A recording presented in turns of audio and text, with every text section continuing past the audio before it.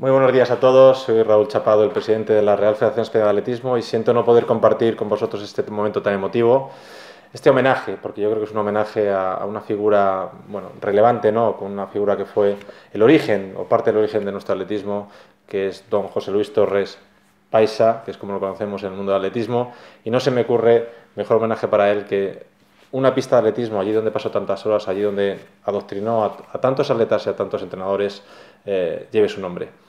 Desde la federación te queremos reconocer que hayas sido no solo el primer atleta en representar a España en Campeonato Europa, que hayas batido más de 12 récords de España, que hayas sido tantas veces internacional, más que hayas sido entrenador, has sido además entrenador de entrenadores. Y, un entrenador de entrenadores es un maestro. Y un maestro es alguien que no solo enseña conocimientos, sino que enseña valores, enseña comportamientos, eh, enseña a, vivir y a vivir mejor. Por eso, eh, José Luis, te queremos entregar hoy este reconocimiento nombrándote grande del atletismo español. Y ser un grande del atletismo español es ser un grande del deporte español.